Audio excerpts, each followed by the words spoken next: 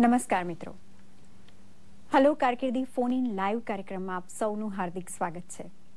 આપ જાણો છો તેમ, આપણે આ વર્ષને યુવા શક્તિ વર્ષ તરીકે ઉજવી રહ્યા છીએ અને આ કાર્યક્રમમાં સ્વામી વિવેકાનંદની વિચારધારા આજના સમયમાં કેટલી પ્રસ્તુત છે તે વિશે આપણે જુદા જુદા વિષય પર ચર્ચા કરી રહ્યા છીએ. આજે આ કાર્યક્રમમાં વિષય છે આત્મવિશ્વાસ અને સ્વામી વિવેકાનંદ. તો આ ઉપર આપ અમને કોઈ પ્રશ્ન પૂછવા માંગો તો અમને પૂછી શકો છો. આમાં બે છ આઠ પાંચ, ત્રણ આઠ એક ચાર અને બે છ આઠ પાંચ, ત્રણ આઠ એક છ. આપને જણાવું કે મારી સાથે આજે સ્ટુડિયોમાં ઉપસ્થિત છે સ્વામી શ્રી નિખિલેશ્વરાનંદજી, જેમને આપ ઓળખો જ છો. જેઓ રામકૃષ્ણ મઠ વડોદરાના અધ્યક્ષ છે. ફરી એકવાર આપને અમારો આજનો વિષય જણાવું, આત્મવિશ્વાસ અને સ્વામી વિવેકાનંદ. મિત્રો, દ્રઢ મનોબળ એટલે આત્મવિશ્વાસ. ભગવાને પ્રાણીઓની તુલનામાં મનુષ્યને અનેક ગણી શારીરિક અને માનસિક શક્તિની ભેટ ધરી છે. અને એક અણમોલ વરદાન જે આપ્યું છે, તે છે સંકલ્પ બળ. મનુષ્યની સંકલ્પ શક્તિ સૌથી મોટો ચમત્કાર સર્જી શકે છે. આપણા ઇતિહાસમાં સુવર્ણ પૃષ્ઠો પર એવા કેટલાય મહાપુરુષોના નામ અંકિત થયેલા છે, જેમણે આત્મવિશ્વાસથી ઇતિહાસ રચ્યા છે.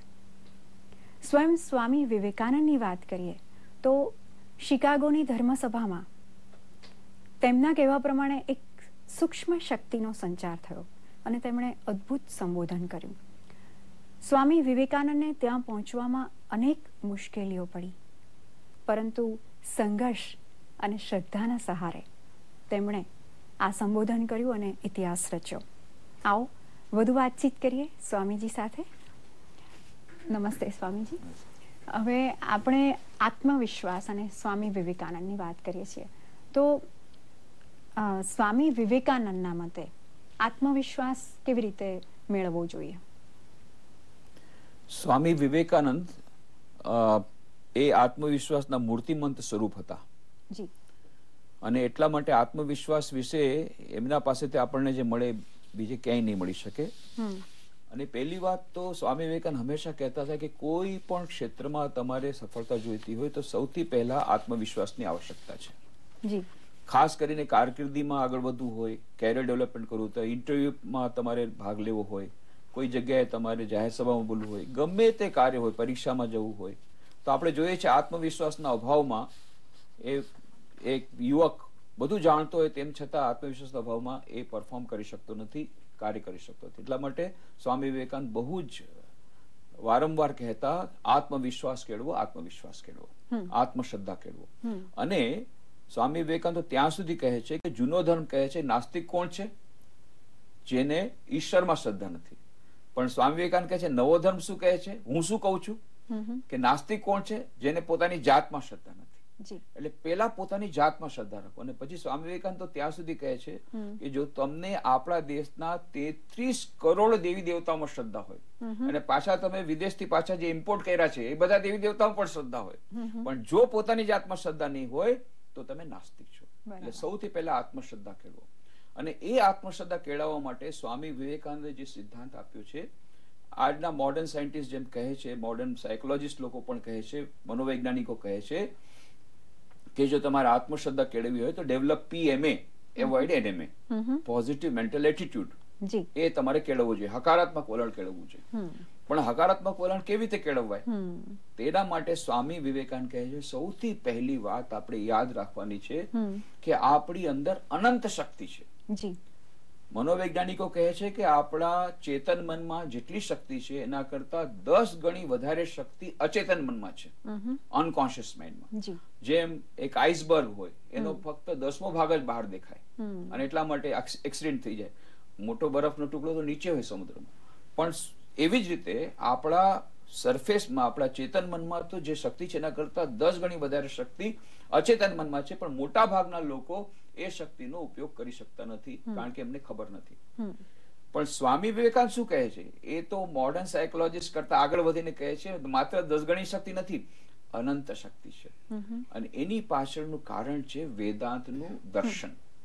વેદાંતનું દર્શન કહે છે સ્વામીજી આપણે એ વિશે વાત કરીએ એ પહેલા આપણી સાથે કોલર જોડાયા છે યોગેશભાઈ. યોગેશ સોલંકી અને જ્યોતિબેન. યોગેશ સોલંકી હલો અને જ્યોતિબેન હલો હલો હાજી અને જ્યોતિબેન પણ બોલી રહ્યા છે. હલો આપનો પ્રશ્ન જણાવો. યોગેશભાઈ. હલો. હા મેડમ મારે સ્વામીજીને એક સવાલ પૂછવાનો છે. જી. હા પૂછી શકો છો. પૂછવું છે કે દ્રઢ સંકલ્પ કરવા માટે ખૂબ જ જરૂરી વસ્તુ શું છે? જી. હલો. હા હા બોલો. હા બોલો બોલો. બોલો. કે યોગેશભાઈ આપના ઘરે આપના ટીવીનું વોલ્યુમ એકદમ ઓછું કરી દેશો તો જ અમે સ્પષ્ટ સાંભળી શકીશું. દ્રઢ દ્રઢ સંકલ્પ કરવા માટે જરૂરી શું છે? જી. અને એના માટે કયા પગલા લેવાથી જીવનમાં આગળ વધી શકાય? બહુ સરસ. બહુ સરસ વાત છે. તો દ્રઢ સંકલ્પ જો તમારે કરવો હોય તો પહેલા તો તમારે કઈ વસ્તુ મેળવવાની છે એનું તમે એનાલાઇઝ કરો. કેટલી વસ્તુ તમારે જોઈ છે એમાંથી પ્રાયોરિટી તમે આપો. Number one is analyse. અને બીજું છે કે એસેસમેન્ટ કે તમારું પોતાની કેટલી ક્ષમતાઓ છે, એનું અસેસમેન્ટ કરો. કેટલીક વાર આપણી પાસે ઘણી બધી ક્ષમતા હોય, પણ આપણે જાણતા નથી. શારીરિક ક્ષમતા વિશે પણ આપણે જાણતા નથી આપણી પોતાની. માનસિક ક્ષમતા વિશે જાણતા નથી.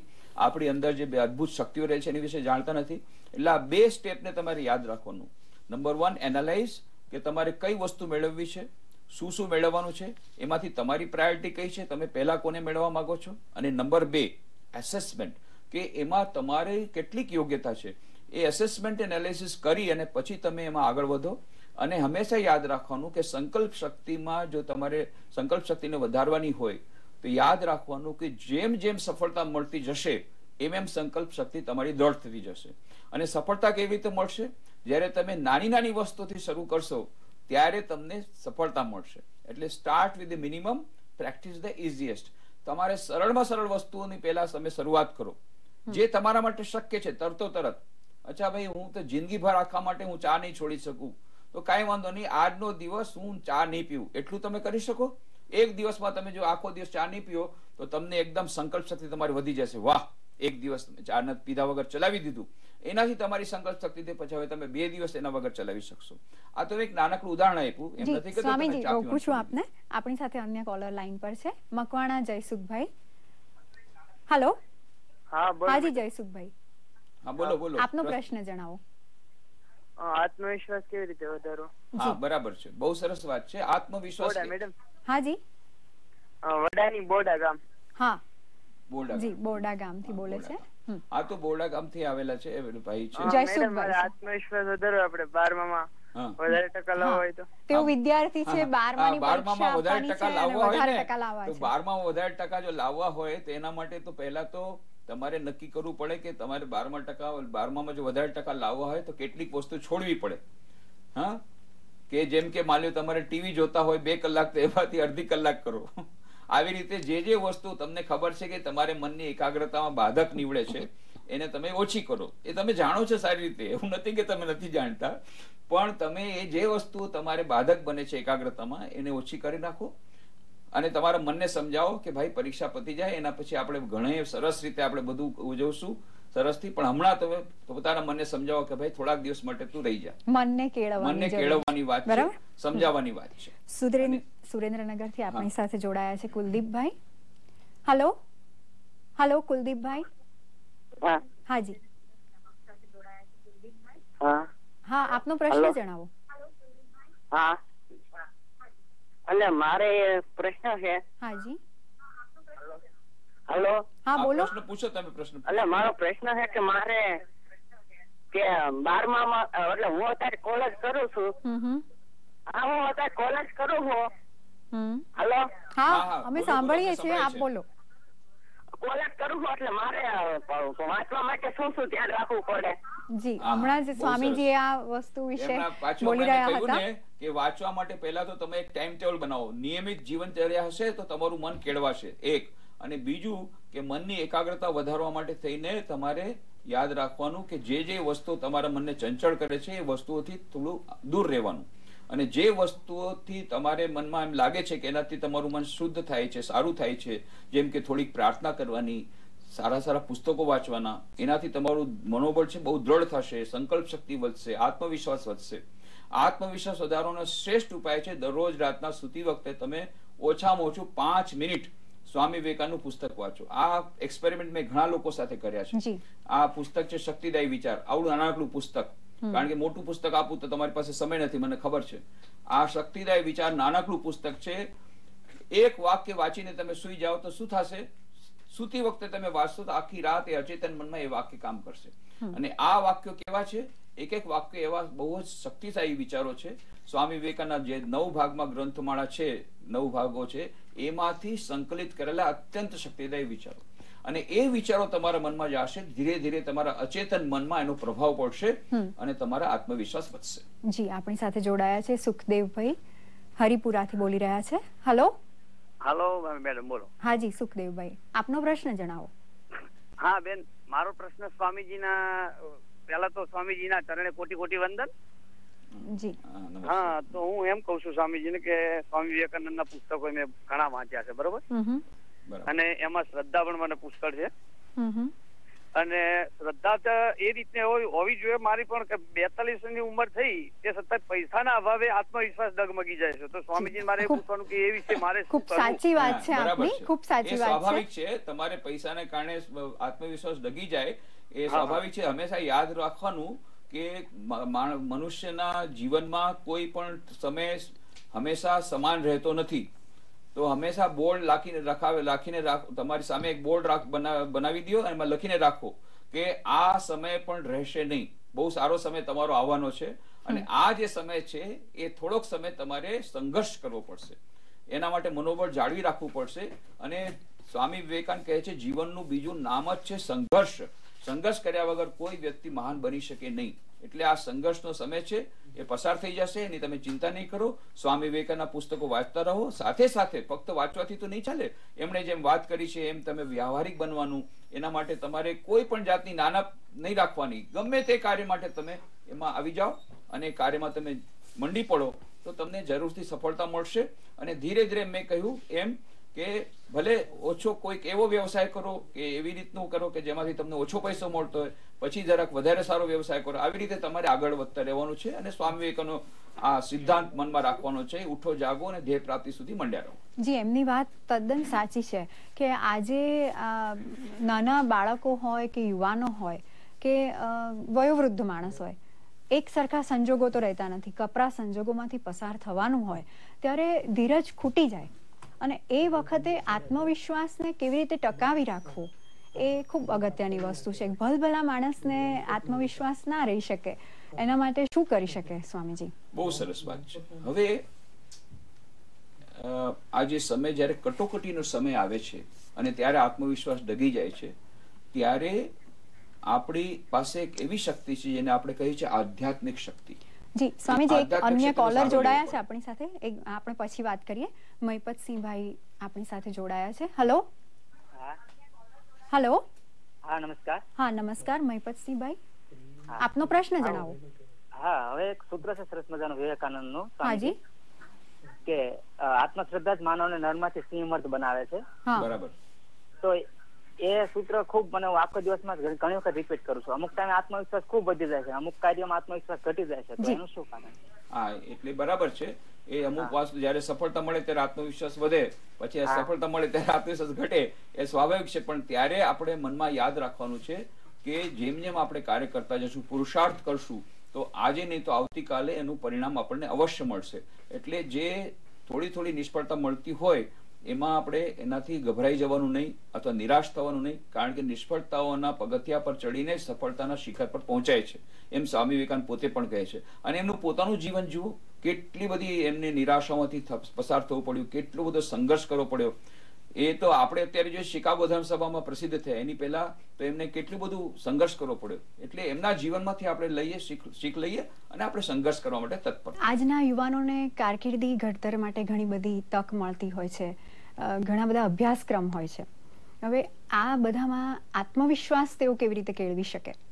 જો સ્વામી વિવેકાનંદ પાસેથી જે હું એક બહુ સારી વસ્તુ શીખ્યો છું એ થિંક આઉટ ઓફ બોક્સ જી. જમાનામાં આટલા બધા ટ્રાન્સપોર્ટેશન ફેસિલિટી નહોતી એ જમાનામાં સ્વામી વિવેકાનંદે માત્ર ભારત ભ્રમણ નહોતું કર્યું એ વિશ્વમાં અનેક જગ્યાએ ગયા હતા. શિકાગો ધર્મ પરિષદમાં ગયા એ સિવાય એમને અમેરિકાનો સમગ્ર અમેરિકાનો પ્રવાસ કર્યો સ્વિટ્ઝરલેન્ડનો પ્રવાસ કર્યો અને યુકે અને યુરોપના બીજા ઘણા બધા દેશોમાં ગયા.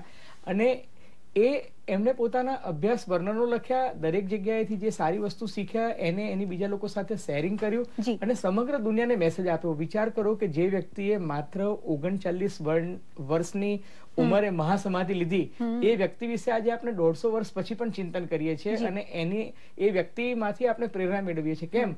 કારણ કે ઓગણચાલીસ વર્ષમાં પણ એ એટલું પ્રેરણાદાયક જીવન જીવી ગયા. મને એવું લાગે છે કે કારકિર્દી માર્ગદર્શન માટે આજે આપણે માત્ર civil mechanical electrical electronics computer કે પછી મેડિસિન કે આવી બધી નહીં જોઈએ કારકિર્દીના ઘણા બધા સ્કોપ્સ છે. એટલે you start think out of box યુવાનોને મારો તો માત્ર એ જ મેસેજ છે કે વિવેકાનંદ આજે પણ સાર્થક છે અને સાંપ્રત છે એનું પ્રસ્તુત છે એનું મુખ્ય કારણ એ છે કે વિવેકાનંદે આપણને સ્વામી વિવેકાનંદજી આપણને સતત અભ્યાસમય રહેવાની એક ખેવના આપણામાં કેળવી છે.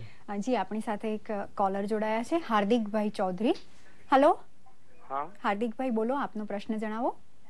હા. હેલો મેમ હા. હા વાંચન માટે રીડિંગ માટેનો છે. હા.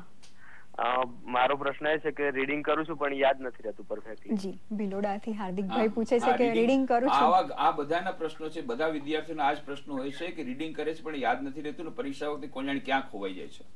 એનું કારણ એ છે કે જે કાચું મકાન હોય ને એ ભૂકંપ એટલે ધડ પડી જાય. ફાઉન્ડેશન બરાબર ન હોય ને જેનો પાયો પણ જેનો પાયો મજબૂત હોય એ મકાન ગમે એવા ધરતીકંપમાં અડીખમ રહે. એવી રીતે તમારું જે ભણતર છે એનું ચણતર બરાબર નથી. એટલા માટે નથી કે તમે એકાગ્રતાપૂર્વક ભણતા નથી. એટલે એકાગ્રતાપૂર્વક તમે ભણો અને આત્મવિશ્વાસ રાખો.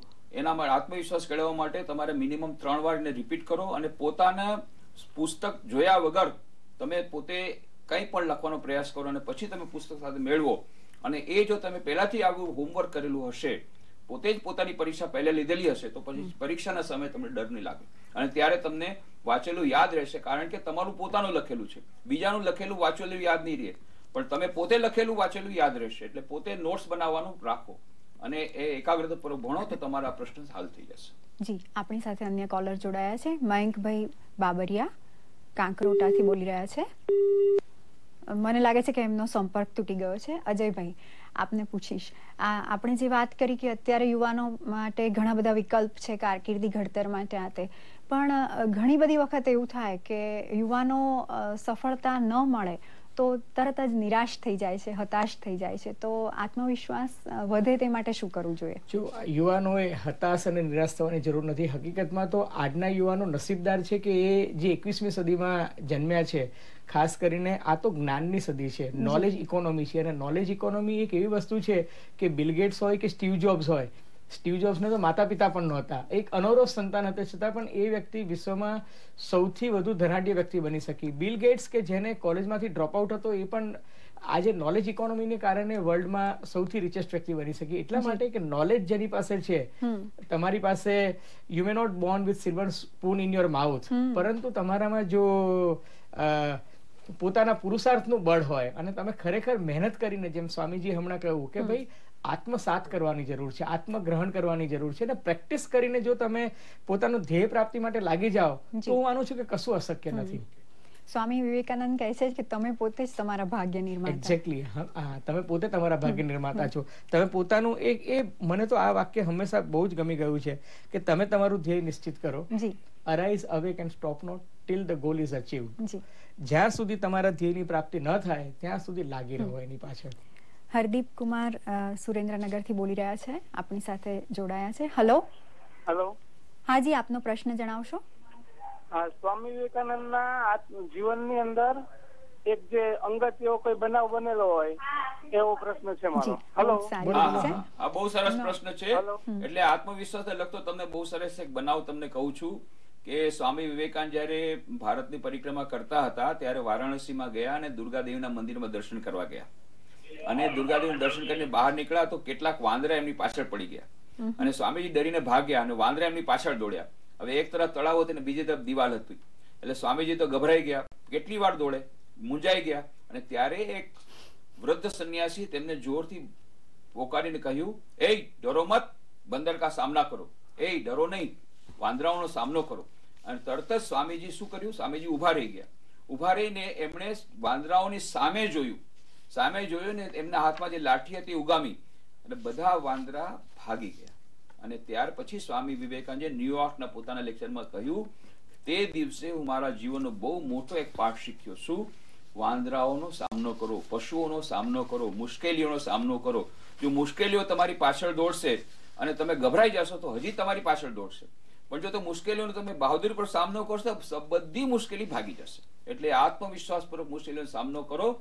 તો તમારે કોઈ પણ જાતની પરિસ્થિતિમાં તમે મુકાબલો કરી શકશો. પલાયનવાદ આચરવાની જરૂર નથી. સામનો કરો. સામનો કરો. દીપકભાઈ પટેલ આપણી સાથે જોડાયા છે અમદાવાદથી. હલો. હેલો. હાજી દીપકભાઈ બોલો આપનો પ્રશ્ન જણાવો. મારે સ્વામીજીને પૂછવું છે. જી. કે આપણે જીપીએસસી અને યુપીએસસી ની પરીક્ષામાં સફળતા મેળવવા માટે સ્વામી વિવેકાનંદ આપણને કઈ રીતે ઉપયોગી બની રહે? બરાબર સિવિલ સર્વિસ બધા પરીક્ષા વાળા માટે અજયભાઈ ને ખાસ પૂછવું છે. અજયભાઈ આપને પણ પૂછવું છે? જો. સામાન્ય રીતે એવું કહેવાય છે કે ગુજરાતમાંથી આઈએએસ અને આઈપીએસ ઓછા બને છે. પરંતુ ગુજરાત સરકારે જે Sardar Patel Institute of Public Administration છે એમાં વિદ્યાર્થીઓને માર્ગદર્શન આપવાનું ચાલુ કર્યું. અને મને કહેતા ખૂબ જ ખુશી અને ગૌરવની લાગણી થાય છે કે આ વર્ષે ગુજરાતમાંથી પાંત્રીસ આઈએએસ ઓફિસર્સ આઈએએસ કે આઈપીએસ કે આઈએફએસ ઇન્ડિયન ફોરેન સર્વિસમાં લગભગ પાંત્રીસ જેટલા ઉમેદવારો જાય એવું લાગે છે. એનું મુખ્ય કારણ એ છે કે ઓગણીસો પંચ્યાસી થી બે હજારમાં તમે જુઓ તો માત્ર ત્રીસ વિદ્યાર્થીઓ આઈએએસ આઈપીએસની એક્ઝામમાં પાસ થઈ શક્યા હતા. અને છેલ્લા દસ વર્ષમાં એ જે ટકાવારી છે દર વર્ષે વધી રહી છે. એનું એકમાત્ર કારણ એ છે કે યુવાનોએ પ્રેક્ટિસ કરવાનું ચાલુ કર્યું. જેમ સ્વામીજી એમને કહ્યું ને કે ફેસ ધ ચેલેન્જ એ ચેલેન્જને ફેસ કરવાનું શરૂઆત કર્યું. અને ઘણા બધા વિદ્યાર્થીઓ એવા છે કે જે લોકોને લાગ્યું કે અંગ્રેજી માધ્યમમાં એ લોકો કમ્ફર્ટેબલ નથી. તો એ લોકો ગુજરાતી માધ્યમમાં પરીક્ષા આપી. એમબીબીએસ થયેલા વિદ્યાર્થીઓ પણ ગુજરાતી માધ્યમ કે ગુજરાતી લિટરેચરને મેઇન સબ્જેક્ટ તરીકે આપી. પોતાના વિષયો બદલ્યા. બબ્બે વર્ષ મહેનત કરી ત્રણ વર્ષ મહેનત કરી. એક વિદ્યાર્થી તો મેં જોયું કે તલાટી તરીકે અઢાર વર્ષની ઉંમરે જોડાયો હતો.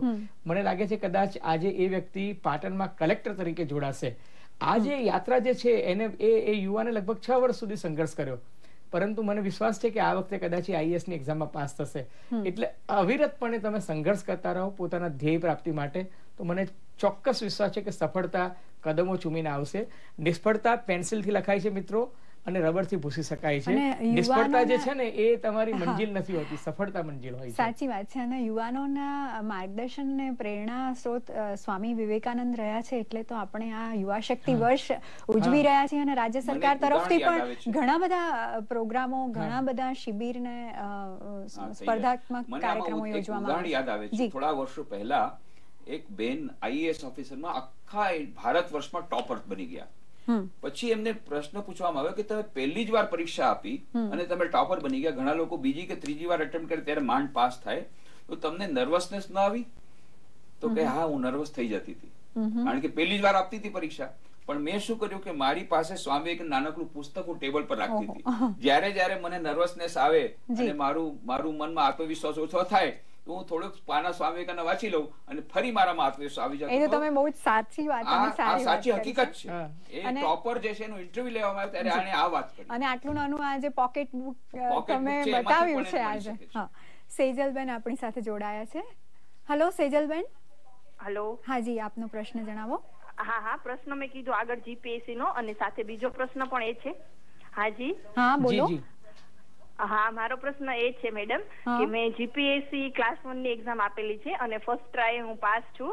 અને સેકન્ડ એક્ઝામ મેં આપેલી છે પણ જોઈએ એવો કોન્ફિડન્સ મારામાં નથી આવતો કે જે સંકલ્પ શક્તિ હોવી જોઈએ. કે એટલી પ્રિપરેશન નથી થઈ શકતી કારણ કે હું. શિક્ષક છું. અને મારો બીજો પ્રશ્ન એ છે કે બાળકોને અત્યારથી ક્લાસ વન ટુ એક્ઝામ માટે કઈ રીતે તૈયારી કરાવી એ માટે મને માર્ગદર્શન આપશો? ખૂબ સરસ વાત છે અજયભાઈ આપ જવાબ આપશો. હું સાંભળી નહીં શક્યો હમણાં જે એ ફર્સ્ટ પાર્ટમાં પાસ થઈ ગયા છે અને સેકન્ડ પાર્ટ આપવાનો છે ત્યારે એમને કોન્ફિડન્સ ઓછો લાગે છે. અને નાના બાળકોને આવી ક્લાસ વન ક્લાસ ટુ ની પરીક્ષાઓ માટે કેવી આપણે ત્યાં સમજી ગયો પ્રશ્ન. આપણે ત્યાં છે ને કેચ ધેમ યંગ નો એક બહુ સરસ કન્સેપ્ટ છે કે તમે બાળક બાળકોને બાળપણથી જ તૈયાર કરો. કે તમારે આ લક્ષ્ય, બાળકોમાં અપાર ક્ષમતા રહેલી છે. તમે એ ક્ષમતાને કઈ રીતે ચેનલાઇઝ કરો છો, એના પર બહુ મોટો આધાર છે. અને બીજું કે બાળ, બાળકો જ્યારે હોય છે ને, ત્યારે એમની ગ્રહણ શક્તિ, સ્મરણ શક્તિ જબરજસ્ત હોય છે. એટલે બાળકોને બાળપણથી જ તમે નક્કી કરી લો કે એને આ કારકિર્દીમાં કે આ વિષયમાં મારે તજજ્ઞ બનાવવો છે. તો મને લાગે છે કે એક માતા જે છે એ સો શિક્ષકની ગરજ સારી શકે છે. અને માતા જે કારકિર્દીનું ઘડતર કરી શકે કે એને જેટલું સમજ આપી શકે બીજું કોઈ ના આપી શકે. અને રહી વાત એમની જે તપશ્ચર્યાની કે એના માટે તો મહેનત જ કરવી પડે અને પ્રેક્ટિસ કરવી પડે. પ્રેક્ટિસ બધું જ નકમ બધું ફર્સ્ટ પાર્ટ તો એમણે સફળતા મેળવી એ માટે અભિનંદન પણ એ પ્રેક્ટિસ કરવી જ પડશે. સતત પ્રેક્ટિસ કર્યા સિવાય કોઈ એક્ઝામમાં તમે કારણ કે આ બધી કોમ્પિટિટિવ આ બધી કોમ્પિટિટિવ એક્ઝામ્સ છે આમાં પાસ થવાનું કામ સહેલું છે. પણ ટોપર કે પર્સન્ટાઇલ લાવવાનું કામ અઘરું છે એટલા માટે. આપણી સાથે જોડાયા છે અરવિંદભાઈ બોટાદથી. હાલો અરવિંદભાઈ. હેલો. હાજી હેલો. હેલો. સ્વામી વિવેકાનંદની યાદ શક્તિ? સ્વામી વિવેકાનંદ યાદ શક્તિ અને ભણતર વિશે જાણું છું. સ્વામી વિવેકાનંદ યાદ શક્તિ વિશે જાણવું છે તો હું તમને કહું છું કે તમને પ્રસંગ કહું છું. સ્વામી વિવેકાનંદ એકવાર બેલુ મઠમાં બેઠા હતા, ઓરડામાં અને પુસ્તક વાંચી રહ્યા હતા. પુસ્તકનું નામ છે એન્સાયક્લોપીડિયા બ્રિટાનિકા અંગ્રેજીમાં વિશ્વકોશ. અને ત્યારને શિષ્યએ કહ્યું કે આટલા બધા પુસ્તકો વાંચતા આખી જિંદગી નીકળી જશે. સ્વામીજી કે શું વાત કરે છે? આ થોડા દિવસો પહેલા પુસ્તક આવ્યા ને મેં દસ ભાગ પૂરા કરી લીધા. તો શિષ્ય કહ્યું, એ તો બની શકે નહીં, મને વિશ્વાસ નથી આવતો. ત્યારે સ્વામીજી કહ્યું, ઠીક છે, તને વિશ્વાસ નથી આવતો? આ પહેલા દસ ભાગમાં તારે જે પ્રશ્ન પૂછાય પૂછી લે. અને શિષ્ય, એમનું નામ છે શરદચંદ ચક્રવર્તી કેટલા બધા પ્રશ્નો પૂછ્યા સ્વામીજી બધાના જવાબ આપ્યા અને સાચા જવાબ આપ્યા. આ એમની ડાયરીમાં શરદચંદ ચક્રવર્તી લખ્યું છે. અને પછી એમણે કહ્યું, સ્વામીજી, આ તો ચમત્કાર છે. તારે સ્વામીજી કા ચમત્કાર નથી. આ મનની એકાગ્રતાનું પરિણામ છે અને મનની એકાગ્રતા કેળવી શકાય. જો આપણે આપણા મનને શુદ્ધ રાખીએ અને બરાબર આપણે મનને કેળવીએ, તો ધીરે ધીરે આપણી મનની એકાગ્રતા સ્વામી વિવેકાનંદ ભલે જેટલી ન પણ થાય, પણ આપણે અત્યારે છે એના કરતા જરૂરથી આપણે વધારી શકીએ. આ વાત સ્વામી વિવેકાનંદ કહે છે. આ યાદ શક્તિ અને એકાગ્રતા એનો આનો પુરાવો સ્વામી જીવનમાંથી આપણને મળે છે. અજયભાઈ જી. આપની સાથે વાત કરીશ. હમણાં જ આ આપણા એક કોલરે જે આપણને વાત કરી અને નાના બાળકોની જે વાત કરી તો નાના બાળકોના વિકાસમાં આત્મવિશ્વાસ વધારવા માટે મા બાપનો કેવો ફાળો હોય છે? જો હું મારા અંગત અનુભવ પરથી કહું છું અને આજકાલમાં કોઈ પણ જમાનામાં સોરાબ અને રુસ્તમની જૂની અને નવી પેઢી વચ્ચે તો અંતર હોય જ. પરંતુ આપણે જે પેઢીમાં હતા મા બાપ જે છે એ રોજ એક સારી મોટિવેટિંગ સ્ટોરી કહેતા હતા. સ્વામી વિવેકાનંદની વાતો કરે મહર્ષિ અરવિંદની વાત કરે રવિન્દ્રનાથ ટેગોરની વાત કરે મહાત્મા ગાંધીજીની વાતો કરે સ્વામીજીના પ્રસંગોની વાત કરે જેમ હમણાં સ્વામીજી વાત કરી. એમાંથી છે ને બાળકોને ઘણી બધી પ્રેરણા મળતી હતી અને બાળકો જીવનમાંથી ઘણી બધી વસ્તુઓ આ પ્રેરક પ્રસંગોમાંથી ગ્રહણ કરતા હતા. આજકાલ અનફોર્ચ્યુનેટલી શું થયું છે કે ટેલિવિઝન અને ઇલેક્ટ્રોનિકના ઉપકરણો એટલા બધા મળી ગયા છે ગેમિંગ ઝોન પ્લે સ્ટેશન આ બધું. એટલે બાળકોનું જે કન્સન્ટ્રેશન જે ભણવામાં આવવું જોઈએ એ ભણવામાં આવતું નથી. ઇવન આ સંયુક્ત કુટુંબ તૂટવાથી દાદા દાદીની વાતો ને દાદા દાદીની વાતો બાળકોનું ધ્યાન રાખવાનું બાળકોની ઇમોશનલ નીડ સેટિસ્ફાય કરવાનું એ જે વસ્તુ થવી જોઈએ ને એ હવે અનફોર્ચ્યુનેટલી થતી નથી. વિભક્ત કુટુંબમાં ખાસ કરીને જ્યારે મધર સર્વિસ કરતી હોય ત્યારે મધર અને ફાધર પોતપોતાના જ એટલા બધા ટેન્શનમાં હોય છે કે બાળકોને રાજી રાખવા માટે એ એમને વાલ નથી કરતા. પરંતુ એને રમકડું આપી દે છે અથવા તો ગેમ અપાવી દે છે.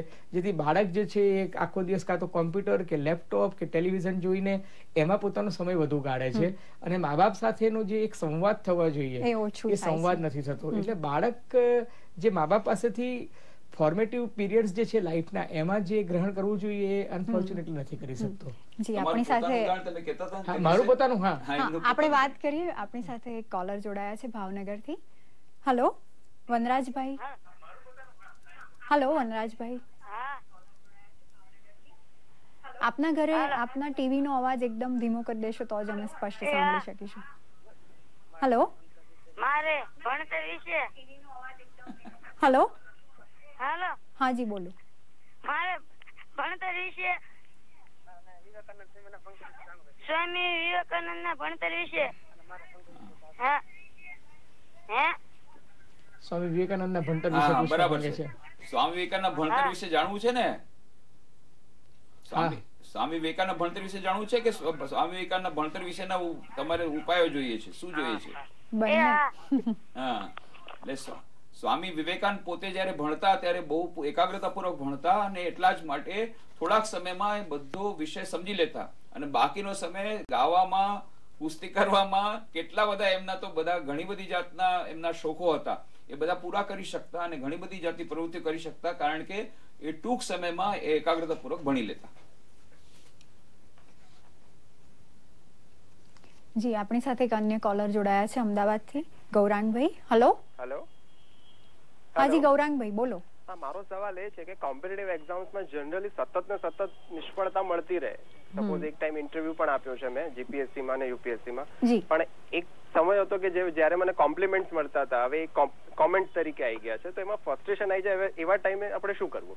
જી પૂછી લઈએ અજયભાઈ ફ્રસ્ટ્રેશન આવી જાય છે. મને લાગે છે આ એમનો જે સવાલ છે કે એમની જે વ્યથા છે એ એ મને લાગે છે એમને ઘણા બધા લોકોની વ્યથાને એક સાથે વાચા આપી છે કે એક જમાનામાં મને કોમ્પ્લિમેન્ટ્સ મળતા હતા અને હવે આજે મારા પર કોમેન્ટ્સ થાય છે. એનું એનું એનું મુખ્ય કારણ એ છે કે ઇનોવેટિવ રીતે પોતાના જવાબો કદાચ નહીં આપતા હોય. અથવા તો એક બીબા ઢાળ એક જ પ્રક્રિયામાંથી તમે આપતા હશો. એને કારણે શું છે કે સામેની વ્યક્તિનો અટેન્શન સ્પાન ઓછો થઈ જાય છે. જ્યારે તમે એકદમ બીબા ઢાળ જવાબ આપો તો સામેની વ્યક્તિ તમારી વાતને પછી રૂટીનમાં જ લે છે.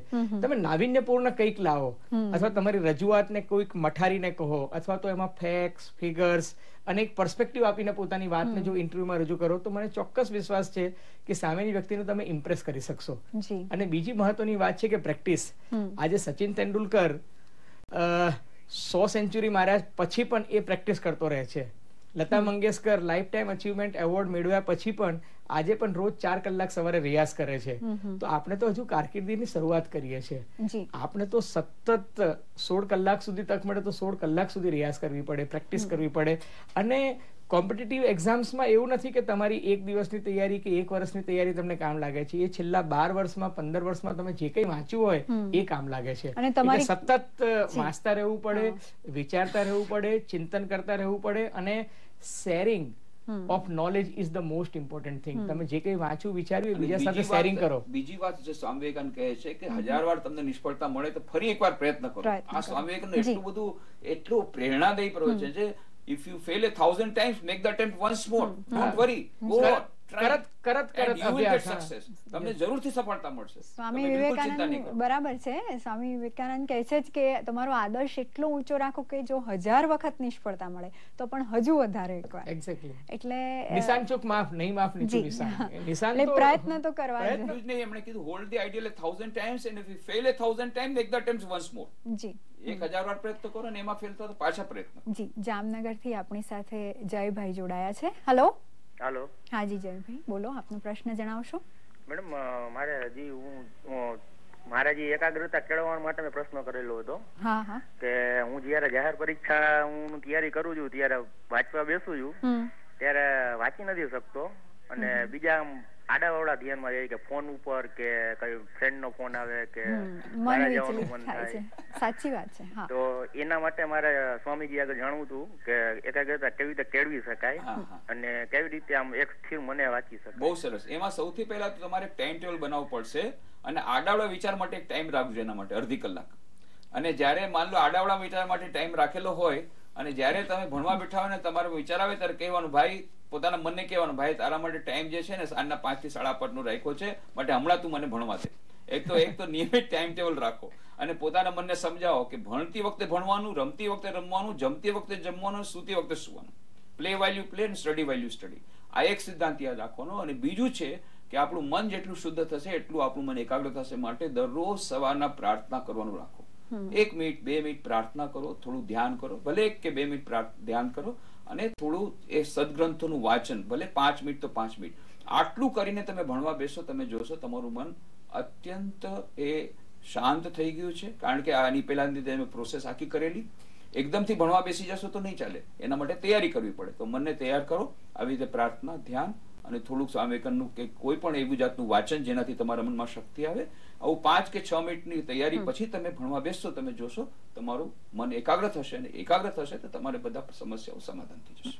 સ્વામીજીની વાત પરથી મને એક વાત યાદ આવે છે કે આપણે શાળાઓમાં પહેલા જે એક નિયમ હતો કે પ્રાર્થના કર્યા પછી જે ભણવાનું શરૂ થાય પીરિયડ શરૂ થાય અને એમાં મને યાદ છે કે અમે લોકો કાયમ હમ હોંગે કામયાબ એક દિન. એક દિન વિસલ ઓવરકમ વિસલ ઓવરકમ એટલે પૂરા હૈ વિશ્વાસ. મન મે હે વિશ્વાસ પૂરા હૈ વિશ્વાસ એટલે એનું પણ પ્રાર્થનાનું ખૂબ મહત્વ છે. ખરેખર કહું ને કે એનાથી માત્ર એકાગ્રતા આવે છે એટલું જ નહીં. તમારું મન એકદમ ફોકસ થઈ જાય અને પછી બીજી પ્રાર્થના છે ને ઇતની શક્તિ અમે દેના દાતા આવી બધી પ્રાર્થના કરવાથી મનમાં શક્તિ આવે છે. આત્મવિશ્વાસ સંચાર કરવા મોટિવેશન મોટિવેશન છે સેલ્ફ મોટિવેશન છે. આ બધું. એનાથી ઉપાય છે. આ બધા ઉપાયો છે.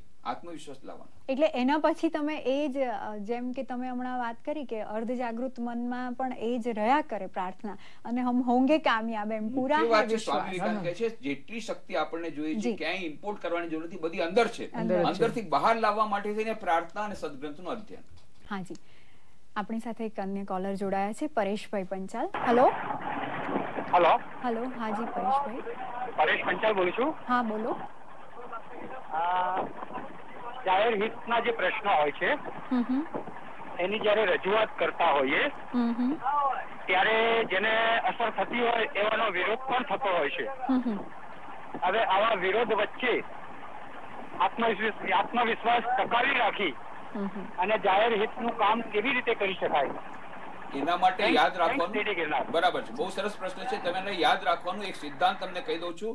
ઉપનિષદનો સિદ્ધાંત છે અને એ અફર છે અને એ છે સત્યમેવ જયતે. અંતમાં સત્યનો જય થશે. જો તમે સત્યની સાથે પડખે રહેશો તો તમારે બીવાનું કાંઈ જરૂર નથી તમારો વિજય થવાનો જ છે આજે અથવા કાલે. એના માટે અડગ રહો. પણ પેલા તમે પોતે આત્મવિશ્લેષણ કરો હું સત્યની સાથે છું કે નહીં. જો તમે સત્યની સાથે હશો અન્યાય સામે સામે લડતા હશો તો તમને એક બહુ મોટી શક્તિ તમને અંદરથી મળશે. એ એક દુબળા પાતળા એક વ્યક્તિએ આ પુરવાર કર્યું છે પોતાના જીવનમાં જેનું નામ છે મહાત્મા ગાંધી. જી. વેરી વેલ સેડ હાર્દિકભાઈ આપણી સાથે જોડાયા છે ફોન પર. હેલો હાર્દિકભાઈ? હેલો? હેલો. હાજી બોલો. આપનો પ્રશ્ન મારો પ્રશ્ન સ્વામીજીને છે. હાજી હા મારે એક પ્રસંગ જાણવો છે જે સ્વામી વિવેકાનંદના જીવનમાં બનેલો. એ લોકો લીંબડીમાં જયારે મઠમાં રોકાયેલા ત્યારે વ્યાભિચારી સાધુઓ ભૂલથી જતા રહ્યા હતા અને એમણે જે રામકૃષ્ણ પરમહંસને પ્રાર્થના કરેલી અને એના આધારે એનો જે બચાવ થયેલો તારીખ બચાવ એ પ્રસંગ બીજા દર્શકોને જણાવવામાં આવે તો એનો ફાયદો મળે બધાને તો એ પ્રસંગ જણાવી હા બરાબર છે બરાબર. લીંબડી ખાતેનો. બરાબર છે. સ્વામી વિવેકાનંદ જયારે ભારતનું પરિભ્રમણ કરતા હતા ત્યારે પરિભ્રમણ કરતા કરતા તેઓ ગુજરાત આવ્યા અમદાવાદથી તેઓ વઢવાણ આવ્યા.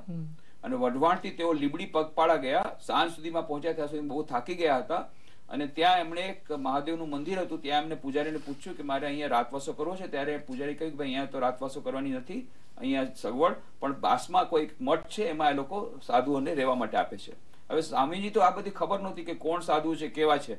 એટલે ત્યાં જઈને એમને આશ્રમ આવ્યો અને પેલા સાધુએ જરૂરથી કહ્યું કે જરૂરથી તમે રહી શકો છો. પણ થોડાક વખત રહ્યા પછી જ એમને ખબર પડી, થોડાક કલાકની અંદર જ કે ભાઈ આ તો કોઈ કંઈક ભળતી જગ્યાએ આવી ગયા છે ને આ લોકો જે સાધુઓ છે, સાધુ કહેવાતા સાધુઓ છે, ઢોંગી સાધુઓ છે અને એ બધા બધા વામ માર્ગી જેને તાંત્રિક સાધુ કહે છે એવા હતા અને બહુ કુત્સિત કાર્યો બધા કરતા. જેને ઘૃણાજનક કાર્યો કહે છે એવા પણ કાર્યો કરતા. એવું એમને સ્વામીજીને તરત જ ખબર પડી ગઈ એટલે સ્વામીજી તરત જ ત્યાંથી ત્યાંથી નીકળવા માંડી ગયા. પણ તેમણે જોયું કે બહારથી દરવાજો બંધ થઈ ગયો છે. અને થોડી વાર પછી એમના મહંત આવ્યા અને એમણે કહ્યું કે હવે તમે અહીંથી જઈ શકશો નહીં. કારણ કે તમારા ચહેરા પરથી અમને લાગે છે કે તમે ખૂબ જ બ્રહ્મચર્યનું બહુ સરસ પાલન કર્યું છે અને તમે એક મહાન તેજસ્વી સંન્યાસી છો. એટલે અમારે એક એવી પ્રક્રિયા કરવી પડશે કે જેથી તમે તમારા બ્રહ્મચર્ય વ્રત તમે ભંગ કરી અમને ઘણી બધી સિદ્ધિઓ મળશે. અને એ વાત જ્યારે કરીને પહેલા મહંત નીકળી ગયા. આખી રાત સ્વામીજી ત્યારે બહુ જ એ ચિંતિત થયા. પણ એમણે પોતાનું મનોબળ ગુમાવ્યું નહીં, આત્મવિશ્વાસ ગુમાવ્યો નહીં. આખી રાત એમણે શ્રી રામકૃષ્ણદેવને પ્રાર્થના કરી, જગદંબાને પ્રાર્થના કરી કે, હે પ્રભુ, આમાં તમે જ મારી રક્ષા કરી શકો છો. આવી જાતની મુશ્કેલી એમને જીવનમાં ક્યારે મળી નહોતી. આ એક અલગ જાતની એક વિચિત્ર એક મુસીબત આવી હતી કે જે મુસીબત એમની એમણે વાઘનો પણ સામનો કર્યો હતો જંગલમાં. પણ આવી જાતની મુસીબત એમને ક્યારે નહોતી આવી અને ત્યારે એમણે ખૂબ પ્રાર્થના કરી અને પછી પ્રાર્થના કર્યા પછી એમને એક વિચાર સૂજ્યો, જાણે કે ભગવાન એમને વિચાર સુજડી દીધો. બીજે દિવસે જ્યારે એક નાનકડો છોકરો, ભરવાડનો છોકરો દૂધ દિલાવવા માટે આવ્યો દૂધ દેવા માટે આવ્યો. એની સાથે એમણે મિત્રતા કરી અને કહ્યું, દોસ્ત, તારે મારું કામ કરવું પડશે. અને પેલો છોકરો પણ સ્વામીજીના વ્યક્તિત્વથી ખૂબ જ પ્રભાવિત થયો અને કહ્યું, હું જરૂરથી કરીશ. અને ત્યારે સ્વામીજી શું કર્યું? પાસે એક ઠીકરાનો ટુકડો હતો, એમાં કોલસાના ટુકડા વડે લખ્યું, સાધુ ભય મેં હે. અને એને કહ્યું કે, મેં સાંભળ્યું છે કે લીમડીના મહારાજા બહુ દયાળુ છે અને તું એમને જઈ અને ચોરી છુપીથી જા તારી ચાદરમાં છુપાવી લે અને ત્યાં જ એમને મળીને આ વાત કરે. અને પછી એ ભરવાડનો છોકરો ચાદરની નીચે આ ઠીકરાનો ટુકડો ઉપાડી અને ગયો અને ત્યાં રાજા મળવા માંગતો તો મહારાજા સાહેબને લીમડી મહારાજા યશવંતસિંહજી અત્યંત દયાળુ ને અત્યંત એ ધર્મપરાયણ હતા. એ ત્યારે ઉપર છતમાં લટાર મારી રહ્યા હતા. દરવાનો જ્યારે છોકરાને રોક્યો અને રગજગ ચાલતી હતી ત્યારે મહારાજ, એ મહારાજ સાહેબે કહ્યું, એને આવવા દો ઠાકોર સાહેબે કહ્યું. અને પછી એ છોકરાએ ઠાકોર સાહેબ જશવંતસિંહને આ બધી વાત કરી કે એકદમ શિવજી જેવા દેખાતા અત્યંત તેજસ્વી સ્વામીજી આવ્યા છે ને એ આવી રીતે ભયમાં મુકાઈ ગયા છે ને પછી પેલો ઠીકરાનો ટુકડો આપ્યો. અને તરત જ એ મહારાજા અત્યંત ક્રોધિત થયા અરે મારા રાજ્યમાં આવી જાતના પણ સાધુઓ રહે છે? એ કહેવાતા સાધુ આ તો સાધુ નહીં ઢોંગી સાધુઓ. અને એટલા માટે તરત જ એમણે જેને પછી અખાડો બંધ કરાવ્યો સાધુઓને તેમણે શિક્ષા કરી. આપણી સાથે ફોન પર જોડાયા છે જુનાગઢથી નિલેશભાઈ. વાત કરી લઈએ? હાલો નિલેશભાઈ? હા હા. હાજી? હાજી નિલેશભાઈ આપનો પ્રશ્ન જણાવો. હા મેડમ. જય શ્રી કૃષ્ણ. જય શ્રી કૃષ્ણ. આપણે આત્મવિશ્વાસ કેળવવા માટે ધ્યાન કેન્દ્રિત કરવું જરૂરી છે. આપણે ધ્યાન કેન્દ્રિત કરવા માટે એના વિવિધ પગલા વિશે જણાવશો? જી ચોક્કસ. આત્મવિશ્વાસ માટે ફક્ત ધ્યાન કરવાનું નહીં બીજા ઘણા બધા ઉપાયો છે પણ તમારે ધ્યાન જો કરવું હોય તો ધ્યાન કરવા માટે તમને એક બહુ સરળ ઉપાય બતાવું છું. સ્વામી વિવેકાનંદનો એક ફોટો લઈ લો કોઈ પણ જે ફોટો, જે પોઝ તમને ગમતું હોય, એક મિનિટ તમારી ઉઘાડી આંખે ફોટોને જુઓ અને પછી આંખ બંધ કરીને, બંધ આંખોથી એ જ ફોટોને જોવાનો પ્રયત્ન કરો. આ છે સ્ટેપ નંબર વન. આવી થોડાક દિવસ કરવાથી તમે જોશો કે તમારા મનમાં ધીરે ધીરે સ્વામી વિવેકાનંદની આંખ છબી થઈ ગઈ છે અને પછી ફોટો જોયા વગર જ્યારે તમે તમારા હૃદયમાં ત્યારે ધ્યાન કરશો, તે ફોટો પોતાની મેળે આવશે. અને એ ફોટો પણ આવશે બે ચાર સેકન્ડ માટે પાછું જશે. પછી ધીરે ધીરે જ્યારે તમે એવો પ્રયત્ન કરશો, તો પચાસ સેકન્ડ સુધી પણ રહી શકશે અને પછી એક મિનિટ સુધી પણ રહી શકશે. આવી રીતે ધીરે ધીરે અભ્યાસ કરતા તમે જોશો, બે ત્રણ મહિનાની અંદર તમે એક કે બે મિનિટ માટે પણ સ્વામી વિવેકાનંદને ઉપર ધ્યાન કરી શકો છો. આ તો મેં એક ઉદાહરણ આપ્યું. આવી રીતે જેના પણ તમે ધ્યાન કરવા માંગતા હો, એ ધીરે ધીરે તમારે એના પરથી શરૂઆત કરવી પડે. જી, જશવંતભાઈ આપણી સાથે લાઈન પર જોડાયા છે. હેલો જશવંતભાઈ હા. હાજી બોલો આપનો પ્રશ્ન જણાવો. આપણે સ્વામી વિવેકાનંદ ના ભણતર વિશે અને મારા બેન છોકરો છે પરીક્ષામાં સારા ટકા લેવા માટે શું શું ધ્યાન રાખ્યું જોઈએ આત્મવિશ્વાસ વધુ રહેવા રાખવા માટે. આત્મવિશ્વાસ માટે આમની પહેલા પણ મેં વાત કરી કે એકાગ્રતા પૂર્વક ભણો અને સાથે સાથે લખી લખીને વાંચો. લખી લખીને ભણો. અને પછી એનું રિપીટેશન કરો. સ્વામી વિવેકાનંદ એકાગ્રતા પૂર્વક ભણતા હતા એટલા માટે જ એ સફળતા સફળ રહ્યા હતા વિદ્યાર્થી જીવનમાં. એટલા માટે આ આત્મવિશ્વાસ એમને નહીં આવે એના માટે તમારે પ્રયત્ન કરવા પડશે અને એકાગ્રતા પર ભણવું પડશે તો આત્મવિશ્વાસ આવશે. જી અજયભાઈ જી. વ્યક્તિત્વ વિકાસમાં આત્મવિશ્વાસ એ પહેલું પગથિયું છે આપણે જાણીએ છીએ. કેવી રીતે યુવાનો આત્મવિશ્વાસને વધુ સારી રીતે કેળવી શકે? સ્વામીજીએ ઘણું બધું કહ્યું છે એટલે એનું હું પુનરાવર્તન નથી કરતો. પણ જરૂરી નથી કે તમે માત્ર એક ધ્યાનના સ્ટેપને જ અટકી રહો. જે સ્વામીજીએ કહ્યું કે ભાઈ પહેલા સ્ટેપ છે ધ્યાન છે. એ પછી પોતાના વિષયમાં પારંગતતા મેળવવા માટે માત્ર પુસ્તકનું જ્ઞાન નહીં ચાલે. તમારે પુસ્તકની બહાર પણ ઘણું બધું વાંચવું પડશે વિચારવું પડશે એક્સપર્ટ સાથે વાત કરવી પડશે. અને પછી જેમ પહેલા બીજાથી માંડીને દસમા ધોરણ સુધી આપણે નોટ બનાવીએ છીએ એમ એ પછીની જે કારકિર્દીની વાત આવે છે ત્યારે તમે વાતને પર્સપેક્ટિવમાં મૂકતા શીખો. એક લાર્જર પિક્ચર ઇવોલ્વ કરો. અને એ લાર્જર પિક્ચર જ્યારે તમે ઇવોલ્વ કરો ત્યારે પછી તમે વિચારો કે હવે મારી મંજિલ ક્યાં છે અને મારું જે મકસદ છે મારો જે ગોલ છે એ ધ્યેય પ્રાપ્તિ કરવા માટે હું કઈ રીતે પહોંચીશ? જ્યાં સુધી તમે લાર્જર પિક્ચર નહીં વિચારો ને ત્યાં સુધી તમે જિંદગીમાં કદી આગળ નહીં આવો. લાર્જર પિક્ચર હા ધ્યેય નક્કી કરીને એક લાર્જર પિક્ચર તમારા દિમાગમાં હોવું જોઈએ. અને પછી એ ધ્યેયને હાંસલ કરવા માટે. ધ્યેય પ્રાપ્તિ માટે શું કરવું પડે? એના માટે મહેનત કરવી પડે. એટલે એક લાર્જર પિક્ચર જે છે એ પણ તમારા માઇન્ડમાં હોવું જોઈએ. કિશનભાઈ આપણી સાથે જોડાયા છે. હેલો કિશનભાઈ. હેલો હાજી બોલો આપનો પ્રશ્ન જણાવો. મારું એવું કેવું છે સાહેબ કે યુવાનો માટે ઘણા બધા વિવેકાનંદ વિચારો મૂકેલા સ્વામી વિવેકાનંદે. તો યુવાનો છે એ ઘણું બધું કરી શકે આત્મવિશ્વાસ દ્વારા. પણ આજના પરિપ્રેક્ષ્યમાં યુવાનો માટે રોજગારીનું સર્જન માટે જાહેર ક્ષેત્રમાં પણ ઝંપલાવવું જોઈએ રામકૃષ્ણ મિશન. અને આત્મવિશ્વાસ વધે માટે કાર્ય કરવું જોઈએ યુવાનોનો. કારણ કે ધર્મ અને કર્મ બંને ભેગા થશે તો જ ઈશ્વરને સાચી પ્રાપ્ત કરી શકાય સાચી રીતના આપણે. બહુ સરસ વાત છે. વર્તમાન પરિપ્રેક્ષ્યમાં આપણે યુવાનોને આગળ વધારવા માટે આપણે રામકૃષ્ણ મિશન પાસે આશા રાખીએ બહુ સરસ વાત છે. હવે તમે રામકૃષ્ણ મિશનની પ્રવૃત્તિઓને જરા વધારે સરસ રીતે જાણશો ત્યારે ખબર પડશે કે રામકૃષ્ણ મિશન એમ કહે છે કે તમે નોકરી માટે એમ્પ્લોયમેન્ટ માટે તમે સૌથી પહેલા એમ્પ્લોયેબલ બનો. એટલે કે તમને એમ્પ્લોયેબલ અત્યારે આપણી પાસે અનએમ્પ્લોયમેન્ટ નો પ્રોબ્લેમ નથી અનએમ્પ્લોયેબલ નો પ્રોબ્લેમ છે. અમારી પાસે કેટલા લોકો આવે છે જે લોકોને માણસો જોતા નથી માણસો મળતા નથી. કેમ? કે આત્મવિશ્વાસનો અભાવ છે માણસોમાં અને યોગ્યતાનો અભાવ છે. યોગ્ય માણસો એ લોકોને જોઈએ છે, મળતા નથી. અને એટલા માટે જ અમે લોકોએ કહ્યું છે કે સૌથી પહેલાં તો આ ટ્રેનિંગની બહુ જરૂર છે. કે એ લોકોને પ્રોપર ટ્રેનિંગ મળશે તો જ આ યુવાનો એમ્પ્લોયેબલ થશે. એના માટેનો પ્રયત્ન ચાલુ છે. નંબર એક. નંબર બે, અમે કહીએ છીએ કે તમે શા માટે નોકરી શોધો છો? તમે કેમ બીજાને નોકરી ન આપી શકો? એટલે સેલ્ફ એમ્પ્લોયમેન્ટની અમે વાતો કરી છે. અમારા જે ટ્રાઇબલ ડેવલપમેન્ટ પ્રોજેક્ટ છે, એમાં બધા વિદ્યા, લોકોને અમે કહીએ છીએ, તમે નોકરી શોધવા નહીં જાઓ.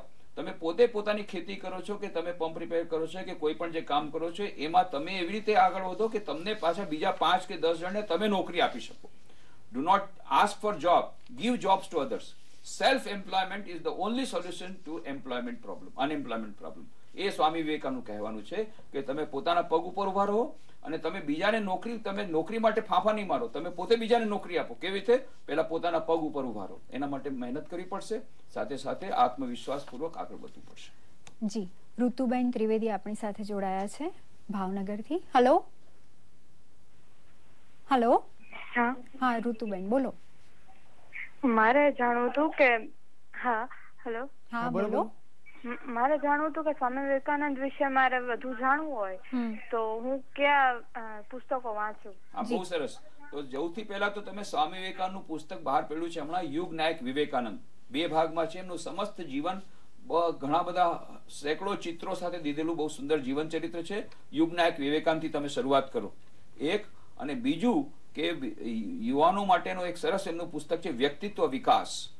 અને નાનકડું પુસ્તક જેની મેં વાત કરી હતી, શક્તિદાયી વિચાર, સૌથી પહેલા તેને તમે વાંચી લો અને એ તો એવું પુસ્તક છે કે એકવાર વાંચવા જેવું નથી, દરરોજ એક એક વાક્ય વાંચવાનું. અને હું તમારી સાથે મારું જે વ્યક્તિગત એક તમારો અનુભવ હું શેર કરું છું, ઘણી બધી છેલ્લા ત્રીસ વર્ષની અંદર એક હજારથી વધુ શિક્ષણ શૈક્ષણિક સંસ્થાઓમાં ગયા છું. અને બધી જગ્યાએ આ પ્રશ્ન આવે છે જ્યારે યુવાનો, ત્યારે એક જ વાત કરું છું કે તમે રાતના સુધી કે પાંચ મિનિટ સ્વામી વિવેકાનું પુસ્તક વાંચીને સુઈ જાઓ, તમારો આત્મવિશ્વાસ વધશે બે કે ત્રણ મહિનામાં. અને આ હું ચેલેન્જ દઈને કહું છું. અને બધાએ ત્યારે વિશ્વાસ નથી કરતા. પણ પાછળથી મને પત્ર લખે છે કે હા સ્વામી ત્યારે અમને વિશ્વાસ નહોતો આવ્યો. પણ આ નાનકડી વાતથી અમારો આત્મવિશ્વાસ વધી ગયો. પણ એક વાર મને એવો પત્ર મળ્યો.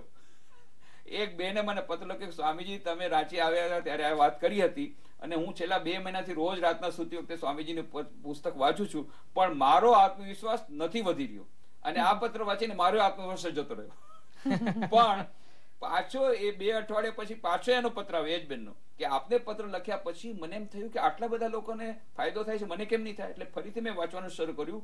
માત્ર આંખોથી નહીં પણ મનથી એકાગ્રત ઉપર વાંચવાનું શરૂ કર્યું અને સાચું કહું છું સ્વામીજી મારો આત્મવિશ્વાસ વધી રહ્યો છે. એટલે હું આજે આત્મવિશ્વાસ પૂર્વક કહું છું કે સ્વામી વિવેકાનંદ પુસ્તક રાતનો સુધી વખતે વાંચો અને અવશ્ય તમારો આત્મવિશ્વાસ વધશે. ન વધે તો મને લખજો. જી ખૂબ સરસ વાત છે. રાજકોટથી ભૌમિક પટેલ જોડાયા છે. હેલો હેલો હાજી બોલો. મેડમ સ્વામીજીને ક્વેશ્ચન છે. હાજી બોલો બોલો. મેડમ સ્વામીજીને ક્વેશ્ચન છે કે આજના મોડર્ન યુગમાં સ્વામીજીએ કીધેલું કે ભારતનો યુવાન હંમેશા ચારિત્રવાન હશે તો જ દેશને આગળ વધારી શકશે. તો એના માટે આ દેશમાં અત્યારે ટૂંકમાં ચાલતા કોઈ પણ રાજકારણ કે આ ભ્રષ્ટાચારના નાશમાં યુવાનને આગળ આવવું જ પડશે તો એના માટે ચારિત્ર્ય કઈ કઈ રીતે સ્વામીજીની દ્રષ્ટિ બહુ સરસ બહુ સરસ. તમારી વાત સાવ સાચી છે. સ્વામી વિવેકાનંદનું આ એક સોનેરી વાક્ય છે. ચારિત્ર ઘડતર વગર રાષ્ટ્ર ઘડતર ન થઈ શકે. રાષ્ટ્રનું પુનર્નિર્માણ કરવું હશે તો પહેલા તો આપણા દેશના વિદ્યાર્થીઓનું ચારિત્ર ઘડતર કરવું પડશે. કારણ કે દેશના જે વિદ્યાર્થીઓ ચારિત્ર ઘડતર થશે, તો આ જ વિદ્યાર્થી આવતીકાલના મંત્રીઓ બનશે, આવતીકાલના આઈએસ ઓફિસર, આઈપીએસ ઓફિસર બનશે, આવતીકાલના જર્નલિસ્ટ બનશે અજયભાઈ જેવા અને એવા ઘણા બધા દરેક ક્ષેત્રમાં સારા સારા માણસો આપણે જોતા હશે તો ચારિત્રવાન યુવાનો હશે તો જ થઈ શકશે અને એટલા માટે સ્વામી વિવેકાનંદ ચારિત્ર ઘડતર પર બહુથી સૌથી વધારે ભાગ અને એ માત્ર ભારત દેશ માટે નહીં સમગ્ર વિશ્વના તમામ દેશો માટે આ વસ્તુ કે રાષ્ટ્ર ઘડતર માટે ચારિત્ર ઘડતર જે છે એ પાયાની પાયાની શરત પાયાની શરત છે પાયાની શરત છે. હવે અંતમાં બંને મહાનુભાવો નાનકડી ટીપ. મારી એક જ ટીપ છે પહેલા અજયભાઈ આપી હતી પછી હું આપું. જો સ્વામીજીએ જે વાત કરી ને કે ટ્રેનિંગ ટ્રેનિંગ તો જરૂરી છે પણ હું માનું છું કે ટ્રેનિંગ ઉપરાંત કોચિંગ છે મેન્ટરિંગ છે હેન્ડ હોલ્ડિંગ છે ગાઈડિંગ છે અને એનાથી પણ ઉપરાંત હું તો પર્સનલી એવું માનું છું કે sharing your knowledge. Sharing all the good things that you have. તમે છે ને વાપરતા વિશ્વમાં સૌધન ખૂટી જાય વિદ્યા વાપરતા વધે એ અચરજ કહેવાય. એ વાસ્તવમાં તમે જુઓ ને તો તમે જેટલું શેરિંગ કરશો નોલેજનું એટલું વિવેકાનંદનો એક વિચાર તમને ગમ્યો છે તમે દસ જણ સાથે એનું શેરિંગ કરો. તો શું થશે? એ વાતને તમે આત્મસાત કરી શકશો. અને જે વસ્તુને તમે આત્મસાત કરી શકશો ને એ વસ્તુ તમે આ જીવન કદી નહીં ભૂલી શકો. એટલે એ જે છે ને કોઈ પણ વસ્તુ માત્ર વાંચવાથી નથી થતું. તમે વાંચો મનથી વાંચો વિચારો એનું ચિંતન કરો અને પછી એને આત્મસાત કરો. જેને આપણે કહીએ છીએ ને એક એસિમ્યુલેશનનો એક પ્રોસેસ છે. એ થાય તો જ છેલ્લે તમે રિઝલ્ટ અચીવ કરી શકો છો. એટલે if you want to become achiever in life મને લાગે છે કે આ પ્રોસેસ બહુ જરૂરી છે. જી. સ્વામીજી ટૂંકમાં જરા. છેલ્લી વાત એક જ કરું. સ્વામી વિવેકાનંદ કહ્યું હતું કે એવું કદાચ બની શકે કે મારા શરીરને જૂના વસ્ત્રની જેમ ત્યાગી દઉં. પણ હું કાર્ય કરતો ક્યારે નહીં અટકું. જ્યાં સુધી સમસ્ત વિશ્વમાં એક પણ વ્યક્તિ એવી છે કે જેને દિવ્યતાની પ્રાપ્તિ થઈ નથી ત્યાં સુધી અવિરત કાર્ય કરતો રહીશ. એટલે અમને એમ લાગે છે સ્વામીજી આજે પણ છે સૂક્ષ્મ રૂપે છે. ખાસ કરીને એમના પુસ્તકોમાં છે. અને એ એટલા જ માટે રોમારોલા કહે છે કે જ્યારે સ્વામી વિવેકાનંદ પુસ્તકો વાંચું છું જાણે મને ઇલેક્ટ્રિક શોક લાગે છે વિદ્યુતનો ઝટકો લાગે છે આવી જાતનો રોમાંચ થાય છે. એટલા માટે હું ફરીથી યુવાનોને ખાસ મિત્રોને કહીશ સ્વામી વિવેકાનંદ પુસ્તકો રાતના સુતી વખતે વાંચો બાકી બધું સ્વામીજી પોતે સંભાળી લેશે. જરૂરથી આત્મવિશ્વાસ આવશે. એવું હું આત્મવિશ્વાસ પૂર્વક તમને કહું છું. જી. આપ બંને મહાનુભાવોનો ખૂબ ખૂબ આભાર. ધન્યવાદ. મિત્રો સ્વામી વિવેકાનંદે કહ્યું છે કે શ્રદ્ધા રાખો. સગળી શક્તિ તમારામાં જ રહેલી છે. તેના પ્રત્યે સભાન બનો અને તેને બહાર લાવો. કહો કે હું બધું જ કરી શકીશ. ખુદી તો કર બુલંદ ઇતના ખુદી કો કર બુલંદ ઇતના